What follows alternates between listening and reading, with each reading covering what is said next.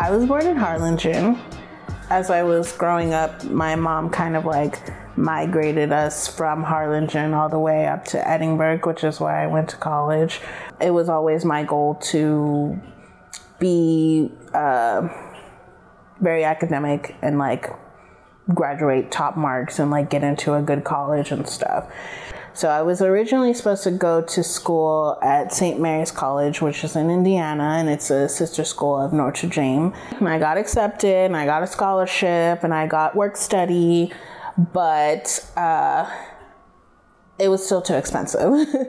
Ultimately, like we decided that I couldn't go to that school, which was very heartbreaking. So then I just decided to go to school at UT RGV, which used to be UTPA at the time.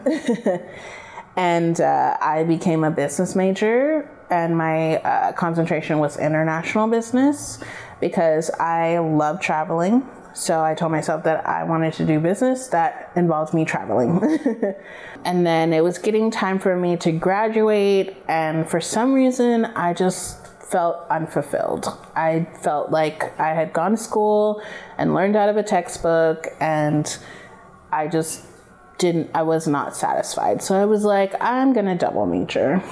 Parts of it did help me because time management was something that helped me a lot. Like I was able to like if I could do something, I would say, "Oh, I have the time for it." But if I couldn't, I would be like, let me see if I can move things around and see if I can work with that. Um, also, it helped with like me being able to work with other people, like me being able to be like, okay, well, I see your point in this idea, but you know, maybe we can go with this idea and it might work a little bit better, like those kind of things. Um, and it helped me.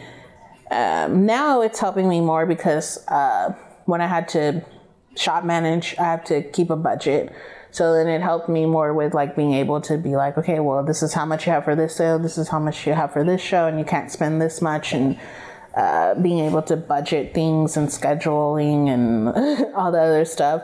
So it wasn't as, I didn't use it as much when I was first starting off because I was just focused on like uh, honing my skills and becoming better at whatever I was trying to do.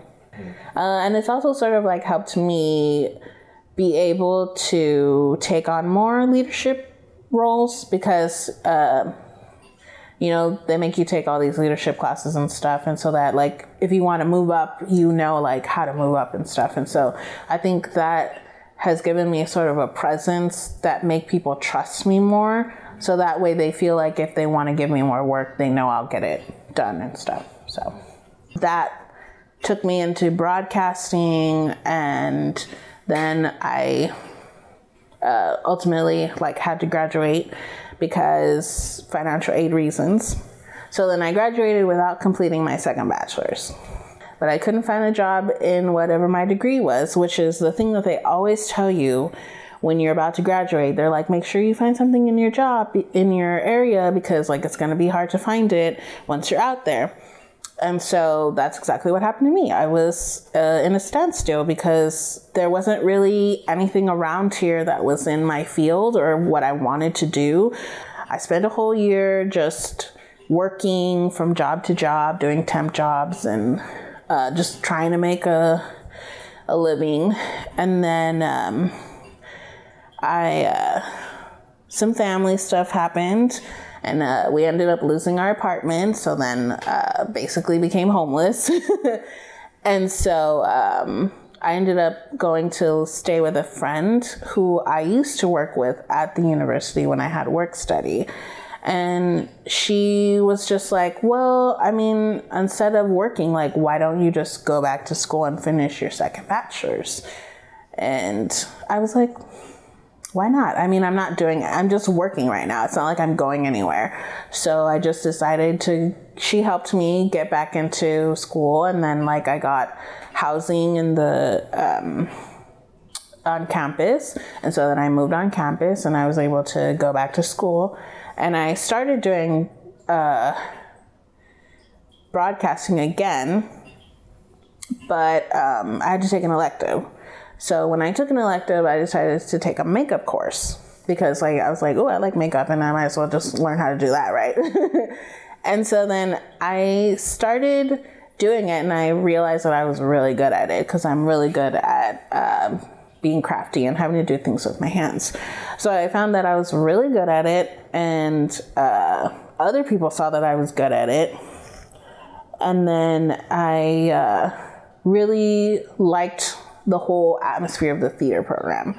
And yeah, and so then I started working in the costume shop and then um, started uh, meeting people and working on projects and like actually like doing things.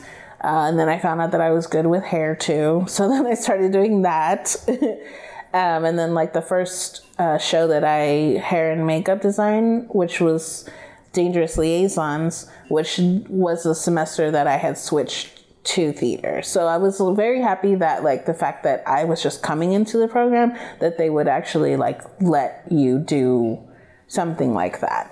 Um, and so that's where I like sort of like took off and started doing all that other stuff in the theater. so like taking that class is what actually like opened my mind to like oh wow, there's people that do this for a living. there's people that get paid for this, and there's people that go to different places and uh, do this for a living. And like, I didn't even know that existed. so like, that's ultimately what what opened the door for me into theater and doing like hair and makeup and doing costumes. Well, like when I was young, I had always felt that I was creative. So, like when I did join the theater program and I started to be more creative and take on more creative things, uh, it led me to build up my resume, which was something that like I I had like a basic resume that just had like what you work at and like places you work at. But I never had like a resume that was like I created this and I did this and and so then I started applying and applying and applying. I think I applied to like maybe like 40 theaters and I really only heard back from 3. And and still those 3 like made me feel like really great because, you know, some people put it off and they put it off and they never um, look out for other places or like they feel like they have a plan but then, you know, things happen, life happens, I guess. Um, and so, like, I really had to push myself, and other people had to push me uh, in order for me to feel like I had enough confidence to be like, okay, well, maybe I didn't get that place, but that does not mean that I don't have skills or that I'm not a good stitcher or I'm not good at this, this, and this. And so that push led me to get those three places. And then those three places made me an offer. And I had a very tough decision because one place was in California, which is ultimately where I wanted to move and live and go to graduate school. And I thought, like, if I went there, that I was gonna be step closer to doing that. And then another job was closer to where my mom lived. It was in Illinois and they were to pay me more, they were to house me, and I was going to get to work on more shows. And not just uh, plays, but musical theater as well, which is something I never really got to dip into. And so, like, uh, what my professor told me was make a pro and a cons. Um, and one place had more pros than cons. And ultimately, I decided to go with the job that was going to give me more benefits. And then once I got the job, um, the connections that you make with those people, like that travels with you to other places. Because a lot of the actors that I worked at my first job, I've already met in another job that I've gotten. So, um, building up your reputation and like meeting new people and networking, like that's gonna help. That helps me more uh, to get more jobs along the way. So, um, yeah. last fall, I got a job at this theater in Missouri. It's called Maples Repertory. and um, when I went there, I didn't know what to expect. I um, had never shop managed a shop before. I had never done anything by myself. Like, I was going to be by myself. I was going to be stitching by myself. I was going to be a dresser by myself. I was going to be taking care of the shop by myself. So, um, yeah, I never just done something by myself. I always had someone there with me. And then um, it actually turned out to be a great experience. Like, I did a pretty good job. Um, but I was like, well, maybe they're not going to bring me back next year or whatever. Well, like, comes summertime, um, they asked me to come back. And I was like, yes, I want to come back. Like, I've never, I wasn't there during the summer, and I really want to experience what it's like to be there during a summer. Um, because a fall season is short, is smaller than a summer season. They do less shows. Um, well, actually, they do the same amount of shows, but there's less people there. They have a smaller cast. So in the summer, they had a bigger cast. And then um, when I went, I immediately became friends with people in the shop. I became friends with all the actors. Um, people in the community were very nice, and I became friends with people in the community. Um, uh, it was just a really good experience. Like it made me, it didn't make me homesick. Like it, made me feel like, um, like everyone was happy to be a part of the experience, and everyone wanted to be there, and everybody was happy to be there. And it was just a really good experience. And then they asked me to come back again in the fall, and I was like, yes, I will totally come back in the fall. and um, you know, and then you know, I came back in the fall, and then like people knew me and people knew what I did and like they knew like who I was. And that was just really weird because like I had only spent a couple of months in this small little town, but everybody seemed to know like who I was and what I did for the theater and it was just a really nice experience for me. and I know that like not as many other theaters are that way, but uh, it definitely like made me feel like uh, if I wanted to, I could ask one of those people, like, hey, do you know if there's a job here and here? And they'll be like, yeah, totally. Like, I know so and so, and I'll give them your resume or I'll give you their contact information. And so, like, that's that's what I really liked about that experience. As I made a lot of friends. the thing that I love about being able to travel now is the fact that I can take pictures where I go. And a lot of the things that I love to take pictures of is either like sunsets or very cloudy days or like something reflected on water and stuff. And like, I think that's really pretty. And other people that see it think that it's pretty too. And then, you know, then they were like, you should get into photography. And I'm like, well, I don't do it because like I want to be a photographer. I do it just because it's a really pretty moment and I want to share it with people. And so that's, I think that's the same thing with whatever I do. Like if I do hair or do makeup or do costumes, like I want it to look visually pleasing because I want to share it with other people. And then that goes hand in hand with the story and the directing and the lights and everything. And then that's how it all comes to fruition. And then people see it and they're amazed by it. And they're like that makes you feel really good because at least you know it's visually pleasing and that's why they like it. So I started working uh, for a cruise line this uh, January. Um, first cruise, never had been on a cruise before, never been on water before. It was very interesting. I was very afraid of getting seasickness.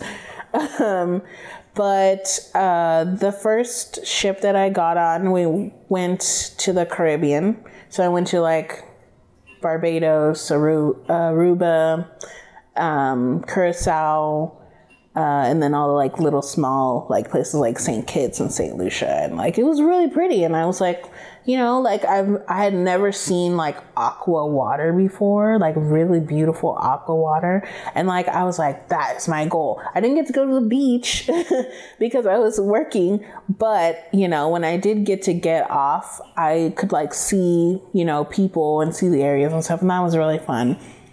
And then um I my next ship I finally got to go to Asia, which was the highlight of my year. I think I think that was like my favorite thing ever because I got to go to Singapore and just like it, it felt very much like the valley though because it's very humid and it rains and it was hot and so um, it felt very much like here so i felt very much at home but it was just I have always loved cultural things. So I, I've always loved being able to go out and learn about different cultures.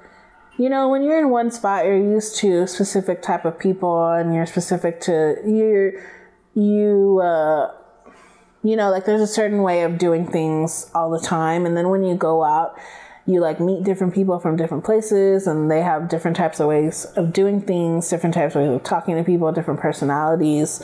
And like being able to meet those people and like figure out like how you're supposed to talk to them and like, you know, find common grounds and like, you know, I don't know, be more outgoing and more open minded. Like that helps more you know, because they come from different backgrounds and you come from a different background. And so, you know, uh, it's just interesting meeting different people. Like, so I went to get my hair cut for my birthday and I met this, uh, my hairstylist actually.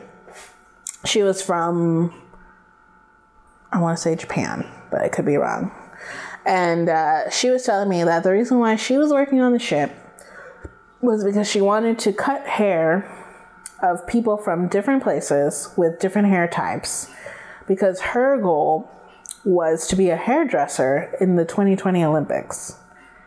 And I was like, that's some big goals there, but but that was like really amazing because like I never thought of that. Like I didn't know there were hairdressers in the Olympics, you know? So I was just like, oh my gosh, like that's so interesting. But I mean, if I had never taken that job, I would never have met that woman. I would never have been able to meet people like that or like people from Australia that sort of sound like British people but are not British but are also like really rowdy and like really fun to hang out with and you know like there was this one man that was just sitting next to me and all of a sudden he made me like this balloon dog and I was like oh my gosh, like that's so sweet. I don't even know you, and you're like making a balloon dog for me. You know what I mean?